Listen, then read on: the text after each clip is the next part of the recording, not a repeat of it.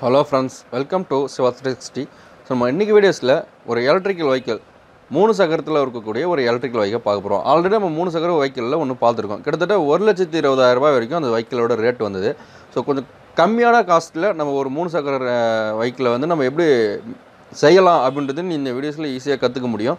என்னங்க கேட்டிங்கன்னா இந்த மாடல் வந்து ஆல்ரெடி கம்பெனியில் தான் போட்டிருக்காங்க. இந்த மாடல் வச்சு நம்ம நார்மலாக இருக்கக்கூடிய மூணு சக்கர வெஹிக்கிள் நம்ம மாற்றுத்திறனாளெலாம் ஓட்டுறாங்க இல்லையா? அந்த மூணு சக்கர வெஹிக்கிளை எப்படி நம்ம பேட்டரி வெஹிக்கிளாக சேஞ்ச் பண்ணலாம் அப்படின்றத வந்து நீங்கள் இதை ஒரு மாடலாக வச்சு நீங்கள் கண்டிப்பாக செய்ய முடியும். ஏன்னா அதே சேம் மாடலில் தான் இந்த வண்டி இருக்குது ஸோ அதனால் வந்து உங்களுக்கு ஈஸியாக வந்து இந்த மாடல் வச்சு உங்களால் கன்வே பண்ண முடியும். அதனால் இந்த வீடியோவை ஸ்கிப் பண்ணாமல் கடைசி வரைக்கும் பார்த்தீங்கன்னா இதோட ஸ்பெசிஃபிகேஷன் ப்ளஸ் இது எப்படி யூஸ் பண்ணியிருக்காங்க எப்படி ரன் ஆகிட்டு இருக்கு அப்படின்றது எல்லாமே நீங்கள் இந்த வீடியோஸில் பார்க்கலாம். அதனால் ஸ்கிப் பண்ணாமல் இந்த வீடியோஸை கடைசி வரைக்கும் பாருங்கள் வாங்க வீடியோக்குள்ளே போகலாம்.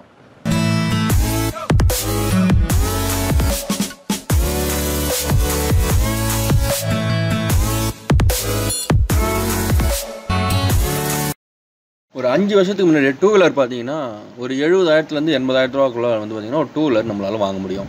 ஸோ இது ஒரு மாற்றுத்திறனாளி வாங்கணும்னா ஒரு எண்பதாயிரரூவா ரேஞ்சில் வந்து ஒரு மாற்றுத்திறனாளி வந்து ஒரு டூ வீலர் வாங்க முடியும். ஸோ அந்த ரேட்டுக்கு ஒரு அஞ்சு வருஷத்துக்கு முன்னாடி பேட்டரி வெஹிக்கிள்ஸ் ஸோ நம்ம பேட்டரி வெஹிக்கிள்ஸ்லாம் வந்து அஞ்சு வருஷத்துக்கு முன்னாடி நம்ம நினச்சி கூட பார்க்கல.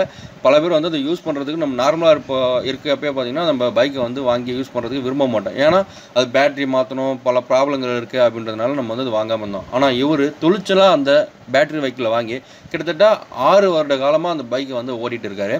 அந்த பைக் தான் இப்போ நீங்கள் பார்க்கக்கூடிய இந்த த்ரீ வீலர் பைக் ஸோ இதில் யூஸ் பண்ணியிருக்கிறது பார்த்தீங்கன்னா லெட் ஆசிட் பேட்டரி தான் அவங்க வந்து யூஸ் பண்ணியிருக்காங்க. இந்த லெட் ஆசிட் பேட்டரியை பொறுத்த வரைக்கும் பார்த்தீங்கன்னா பல பேர் விரும்ப மாட்டாங்க. ஸோ அப்போ நார்மலில் வந்து அப்போ ஃபஸ்ட்டு வந்த புதுசில் பார்த்தீங்கன்னா லெட் ஆசிட் தான் வந்து எல்லாத்துலேயுமே வந்தது. ஸோ அந்த பேட்டரி தான் வந்து இவர் யூஸ் பண்ணிகிட்ருக்காரு அது மட்டும் இல்லை கிட்டத்தட்ட ஒரு இருபத்தஞ்சு கிலோமீட்டர் வேகத்தில் வந்து இந்த பைக் பைக் வந்து போயிட்டே இருக்குது ரொம்ப ஸ்பீடாக வந்து போயிட்டே இருந்தோம்னா ஒரு முப்பது கிலோமீட்டர் வரைக்கும் இதோட ஸ்பீடு வந்து எட்டுதுன்னு சொல்லலாம். இதோட சார்ஜிங் டைமிங் வந்து பார்த்தீங்கன்னா ஒரு நாலு மணி நேரம் சார்ஜ் போடுறாரு.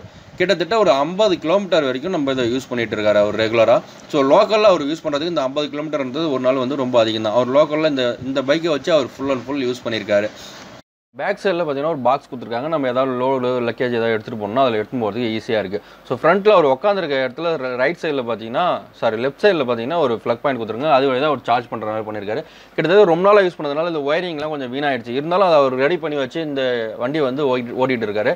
ஹப்பு மோட்டாரோட வாட்ஸ் இரநூத்தி அறுபது வாட்ஸ் தான். ஸோ இரநூத்தி அறுபது வாட்ஸ் வந்து ரொம்ப ரொம்ப கம்மியான வாட்ஸ் தான். இதில் நீங்கள் முடிஞ்சால் நாலு பக்கம் நாலு ஸ்டிக் மார்க் போட்டு மேலே சோலார் பேனல் வச்சா கூட சரி டுவெண்ட்டி ஃபோர் வோல்ட்டில் சோலார் பேனல் தாராளமாக விற்கிது ஸோ அந்த பேனலை நீங்கள் அட்டாச் பண்ணிட்டீங்கன்னா இதில் பாதி பர்சன்டேஜ் கரண்ட்டை வந்து அதுவே சார்ஜ் பண்ணிவிடும் உங்களுக்கு. நீங்கள் ரெகுலராகவே வண்டியை வந்து நீங்கள் தாராளமாக யூஸ் பண்ணலாம்.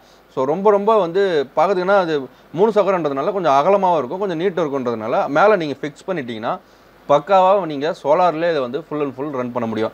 வீட்டில் எடுத்து போய் நிறுத்திட்டிங்கன்னா போதும். சார்ஜ் ஆட்டோமேட்டிக்காக ஆகிடும் நீங்கள் வெளியில் ரன்னிங்கில் இருக்கிறப்பையும் பாதி சார்ஜ் உங்களுக்கு கிடச்சிரும். கிட்டத்தட்ட வந்து இரநூத்தி ஐம்பது வாட்ஸ் வந்து உங்களுக்கு பேனல் நீங்கள் அதில் மேலே வந்து போடலாம்.